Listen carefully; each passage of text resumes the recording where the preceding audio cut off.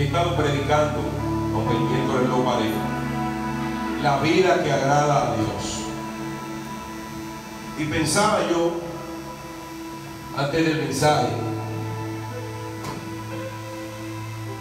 cuando fui el jueves con el hermano Gripino a comprar la primera puja de mascota, la primera compra, que vimos el dinero que llevamos, que Dios nos dio. Yo me reía solo cuando me fui, dejé el hermano allá porque tenía mucho trabajo.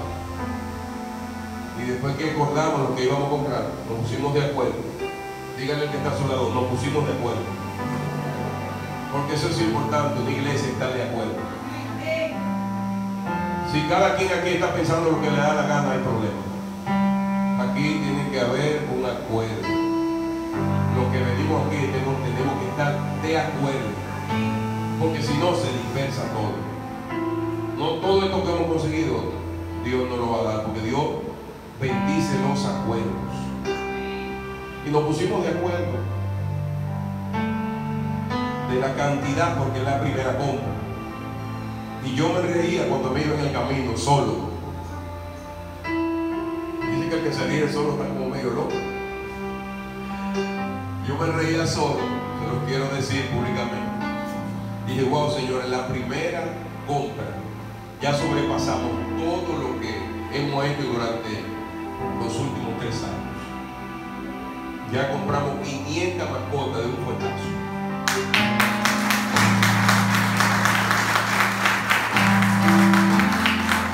Y comprar, no como dicen los políticos, y compraremos más. Y que vamos por más, eso es para tirar de Ya usted sabe atrás de qué que yo hago. Nosotros andamos atrás de bendecir la comunidad, como lo hemos hecho. Y queremos bendecir esta comunidad de verdad.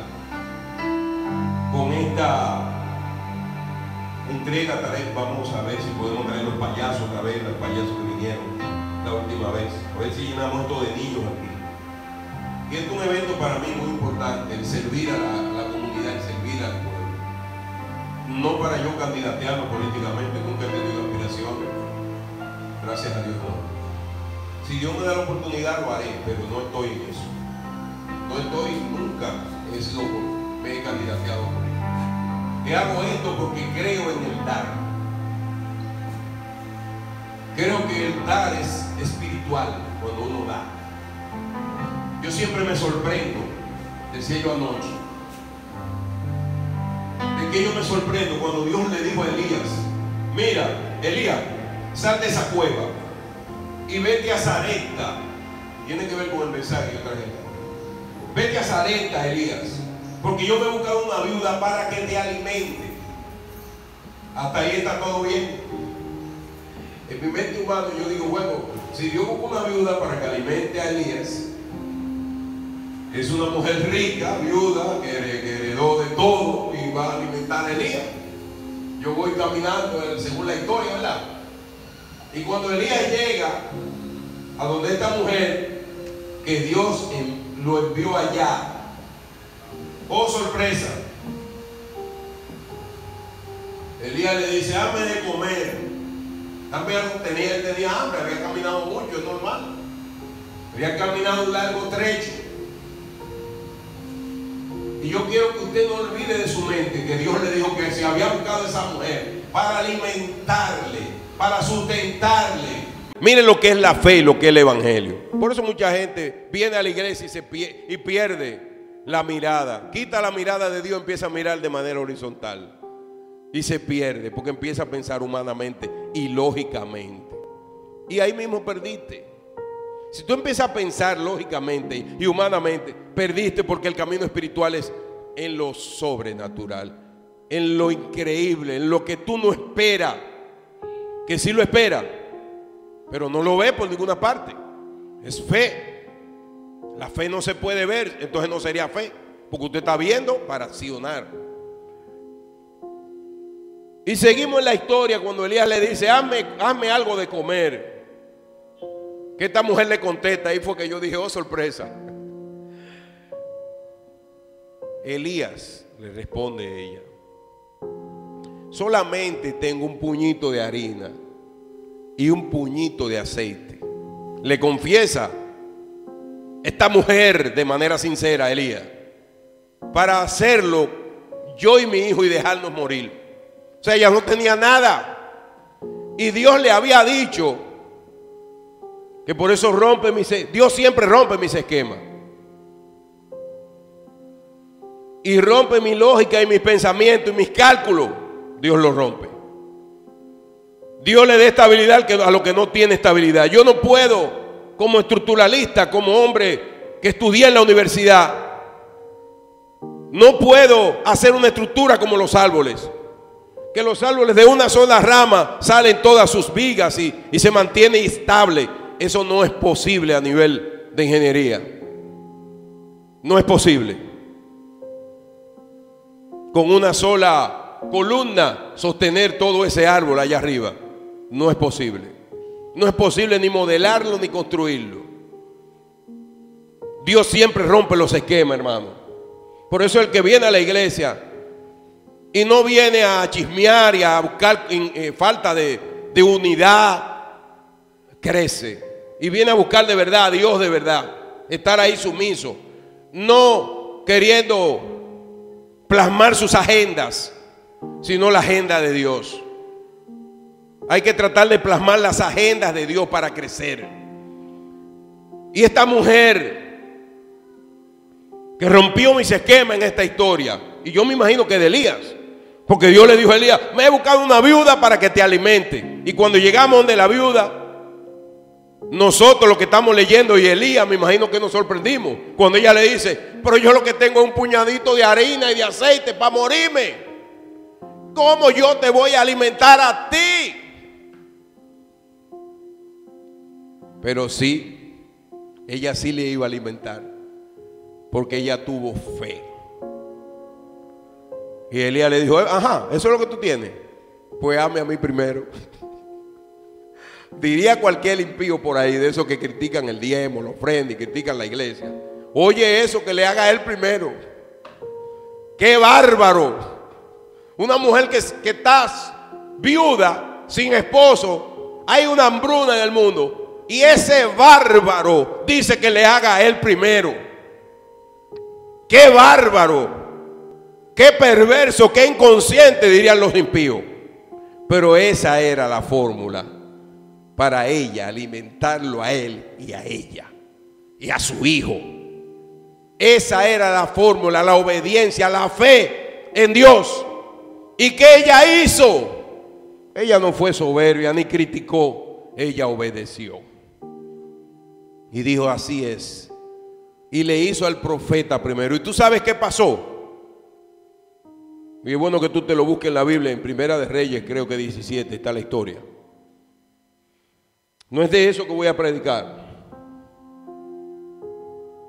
Pero el Espíritu Santo me ha movido a hablar de eso. Tú sabes qué pasó, mi hermano, en la historia. Que la Biblia dice que el aceite de la vasija no disminuyó. Ni la harina escaseó. O sea que mientras ella preparaba y sacaba harina, de manera milagrosa, la harina crecía en el lugar donde ella tenía la harina guardada. ¿Quién la hizo crecer? Dios. ¿Quién fue que dijo, me he buscado una viuda para que te alimente? Porque Dios sí sabía que ella iba a tener fe.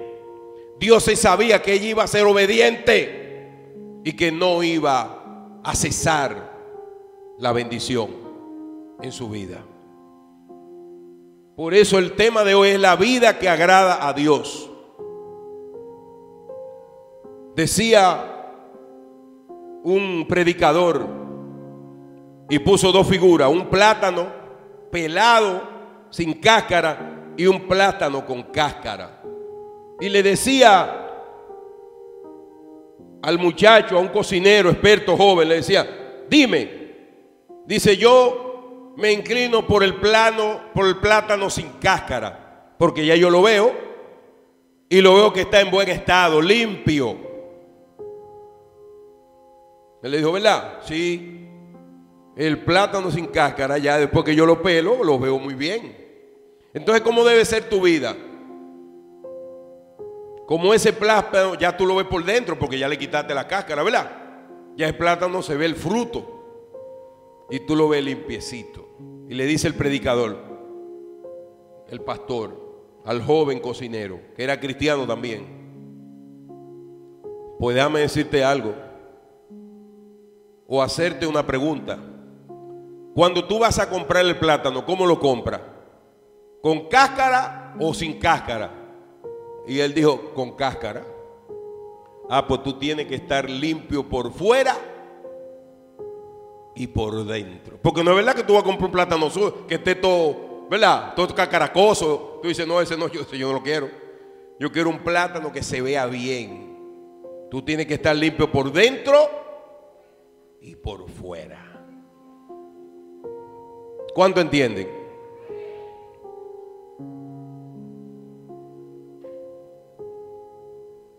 Romanos 8, del 6 al 8. Porque la vida que agrada a Dios, uno de los temas es tener fe en Dios. Fue lo primero que yo prediqué, que sin fe es imposible agradar a Dios. Que está en Hebreo 11:6. Dice que el que cree en Dios cree que le hay.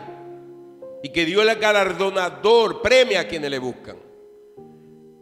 Y el ocuparse del Espíritu, dice la Biblia 8, el segundo es ocuparse del Espíritu. Que Romanos 8:6 dice, porque el ocuparse de la carne es muerte. Ocuparse de la carne, ¿qué es? Es muerte. Cuando yo me ocupo de mis agendas, de mis situaciones, de lo que yo diga, de lo que, de lo que yo creo, de lo que yo creo lógico. Yo me imagino si esta mujer, esta viuda, se va a su lógica y dice, ¿cómo? Que te haga a ti primero. Pero si yo tengo un china más, ¿cómo te voy a hacer a ti primero? Un forastero. Pero ella sabía que él era un hombre de Dios. Ella obedeció y se fue la escasez. ¿Tú quieres romperle? ¿Cuánto quieres romper la escasez en su vida? De verdad, piénsalo bien. ¿Cuánto quieres romper la escasez en su vida? Piénsalo bien antes de levantar las manos. Porque a veces uno le hace una pregunta y uno de una vez, amén. Piénsalo bien. Si es verdad que tú quieres romper la escasez en tu vida, la escasez se rompe dando.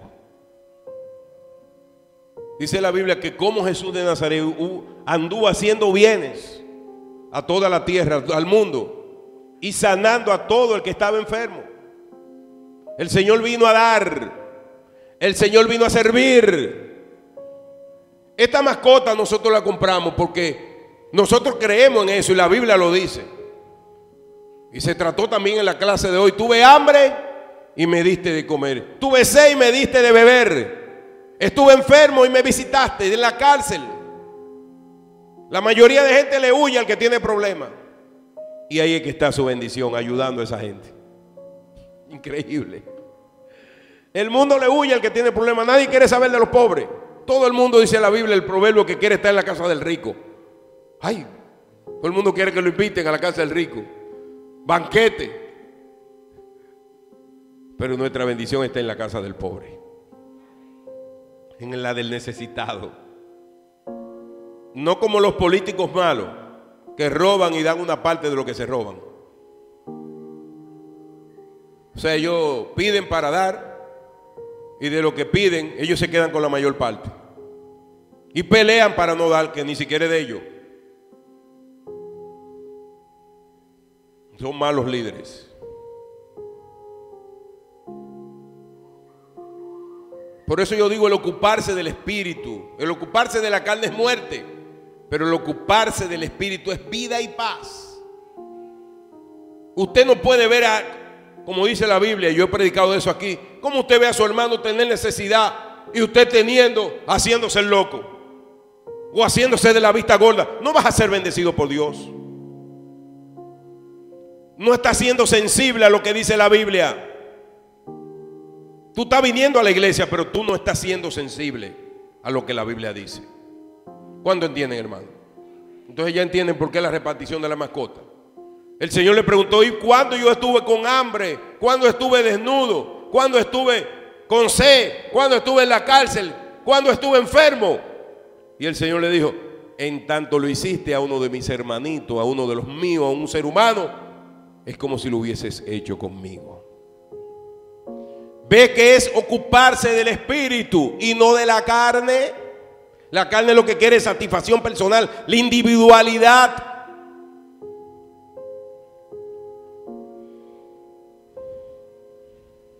Y no es así.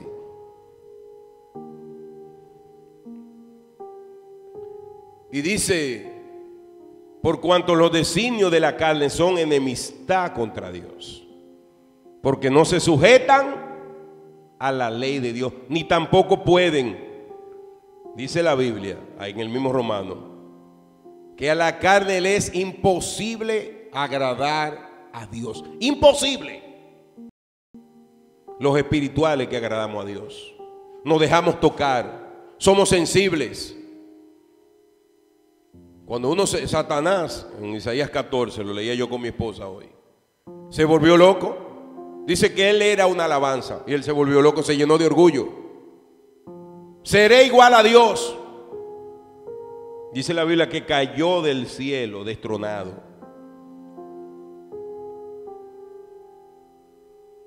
Y comencé esta serie ya hace como 15 días más o menos. Y traté el tema primero, tener fe en Dios. Y ahora estoy compartiendo ocuparse del Espíritu. La Biblia contrasta dos clases de mente, la normal humana, la mente carnal, terrenal, y la mente guiada por el Espíritu de Dios, que es la que, que es la que nosotros debemos vivir, la mente espiritual. Por tanto, tener el Espíritu de Dios morando en nosotros y guiándonos es otro requisito para agradar a Dios. En Hechos 2.38, el apóstol Pedro, uno de mis versículos más preferidos, dice, arrepentidos y convertidos y bautícese cada uno de vosotros para perdón de pecado y recibiréis el don del Espíritu Santo.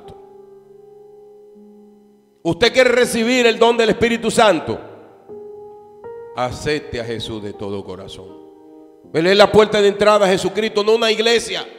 No es el pastor, no un sacerdote, no un apóstol, un evangelista. La única puerta de entrada, hermano. Aquí nadie es imprescindible. El único imprescindible es Jesucristo. La única puerta de entrada a Dios, a su presencia, es Jesús, que se hizo hombre y murió en una cruz por amor a ti y a mí.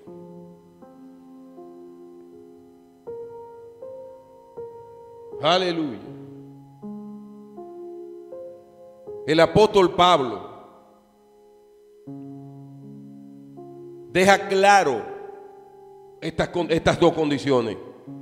También lo habla en el libro de Gálatas, lo habla en el libro de Efesios el apóstol Pablo deja muy claro que nosotros tenemos que ocuparnos más de nuestra eternidad. Porque aquí el mundo todo es pasajero. Hoy usted tiene 20 años, mañana tiene 30, 40, 50 y todo es pasajero. Que si yo pudiéramos vivir 100 años y es una vida larga en la tierra. El que imagínense, el que llega a 100 años celebra. No todo el mundo, la mayoría de muchachos hoy en día con esta situación, de esta vida que se está llevando hoy en día. Mi mujer que es médico, y yo tuve la oportunidad de acompañarla y vivir su proceso. Yo siempre fui solidario con ella. Y viví su proceso. Iba todos los días a buscarla al moscoso Puello. Y veía con tanta pena, porque ya yo era cristiano, yo me casé con ella por eso, porque me convertí al Evangelio, Dios me premió con ella. Veía como jóvenes de 17, 15, 19, 20 años lo tiraban como perros en una camioneta, muertos, atracadores. No desde ahora, hermano, eso está sucediendo hace muchos años. La droga ha ido calando en la juventud. La vida de padres eh, sin orden, divorciados. Y esos muchachos se crían como los chivos sin ley. Ya los puntos de droga, hace un tiempo nos paramos aquí en el, creo que el 19 o el 20, o el 20 creo que es por ahí, después del 22. Y un miércoles yo andaba con Jimmy inquieto y nos paramos a comprar fritura. Jimmy, vamos parando a comprar fritura, aprovechar que no andamos con Polonia. Nos paramos. Hermano, mire, había un punto de droga ahí. Digo que aprovechar que no andamos con Polonia, porque Polonia le prohíbe a uno comer de todo, porque llega gastroenteróloga. Entonces yo aproveché en desobediencia. Me paré con Jimmy, Jimmy me hizo coro y dice, vamos. ya ustedes saben. Y había un punto de droga en ese lugar vendiendo droga a la franca a la Fran, porque yo lo vi, yo no soy policía, lo vi, yo vi el movimiento. Un tipo la traía en un motor y ahí venía otro y la buscaba. Un punto de droga hay ahí. Y todo el mundo sabe dónde están los puntos de droga. Ustedes no saben dónde están todos los puntos de droga. Se ve a la franca. Así estamos. Todo lo que ustedes creen que va a pasar con toda esa gente que se vive drogando. Mira el, deportista David Ortiz, como le sentado en un bar, ahí le, dan, le entraron a tiro. Un desorden, la humanidad está en un desorden. Miren esta cuestión de idea de género. Van a ponerle a los niños una X en su nacimiento para que ellos cuando tengan uso de razón elijan qué es lo que ellos quieren ser. Y hay gente que está en Inglaterra, hay una mujer que está diciendo que ella va a demandar el Estado de Inglaterra porque ella siente que ella lo que es un caballo. Y se pone una cola. Oigan la locura hasta dónde Satanás y su demonio está llevando la humanidad. O sea que si yo nací con un, varoncito, no pueden ponerme varón. Tienen que esperar a ver qué es lo que yo voy a qué es lo que yo quiero ser. ¿Cuál es mi preferencia? Ustedes creen, nosotros que estamos aquí todavía en la zona, ¿verdad? Razonable, ¿verdad? estamos un poco pensantes, vamos a decir. ¿Usted cree que eso tiene lógica? Hermano, humana. Mira hasta dónde está llegando la humanidad por el pecado, la desobediencia a Dios. Eso es la carne. Eso es la carne.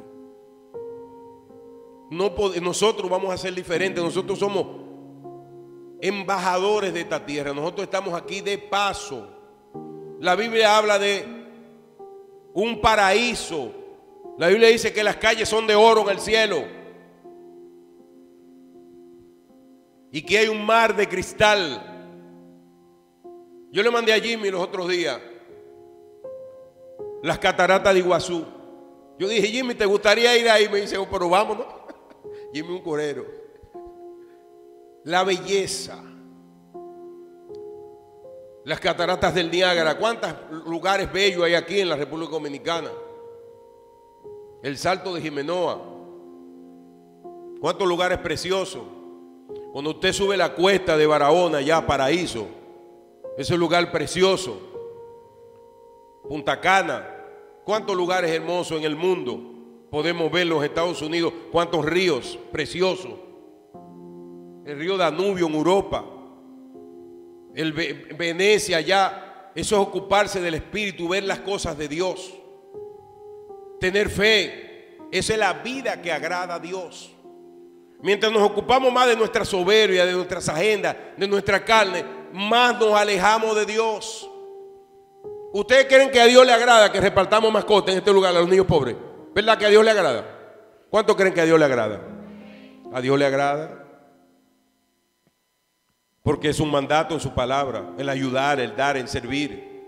El que quiera romper con la escasez solamente tiene que empezar a dar ayudar.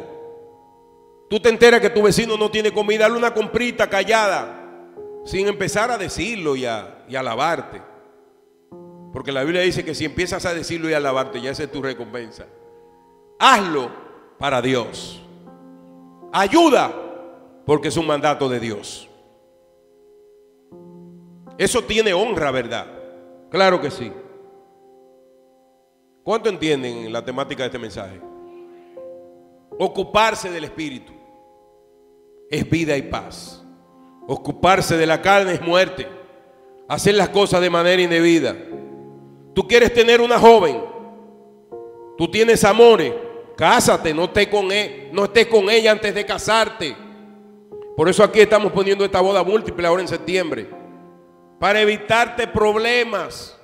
Porque si tú te llevas a la muchacha o, o te vas con el muchacho, va a haber problemas.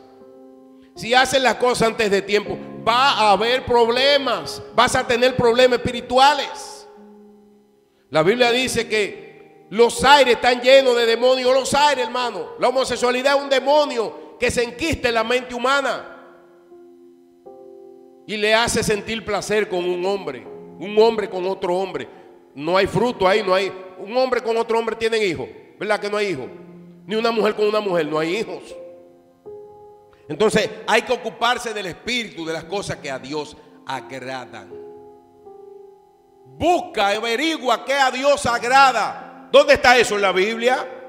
Y entonces hazlo. Ocúpate de, qué, de averiguar qué agrada a Dios.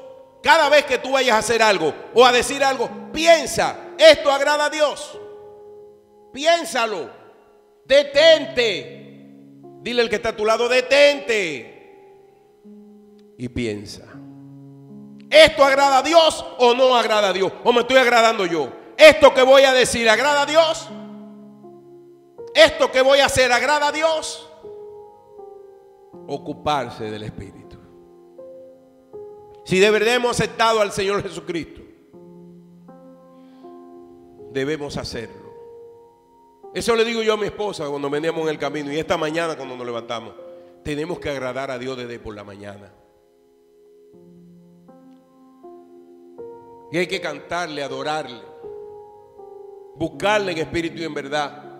Y cuando vengo aquí a la, clase de bautismo, tenemos gracias a Dios cinco personas. Y tendremos el 16 de agosto una celebración en lo más linda que hay que ir llamando ya.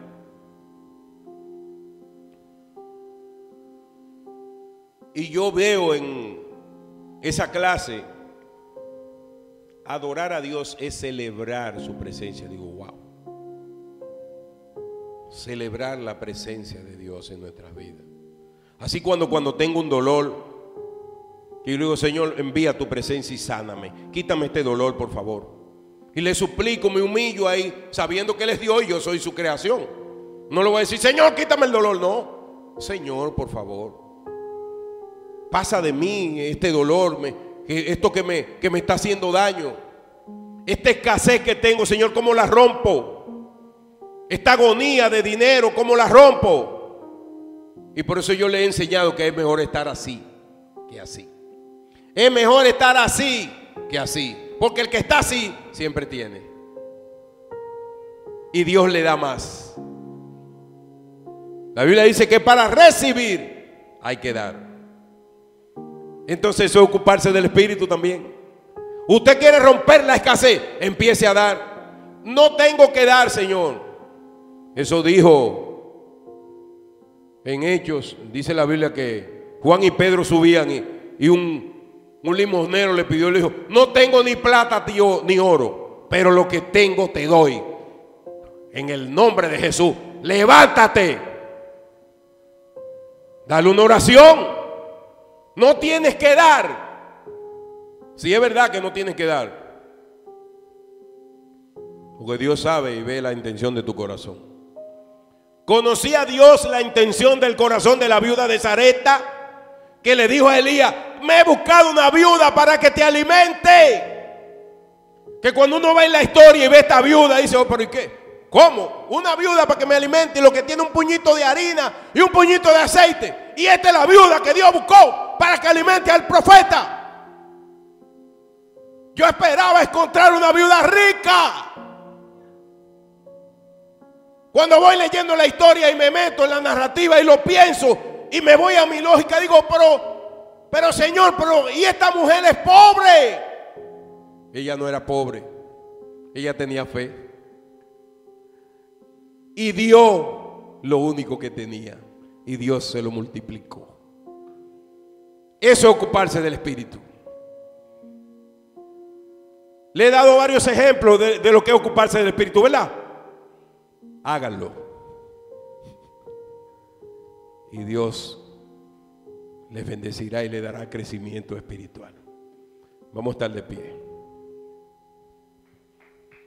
Aleluya.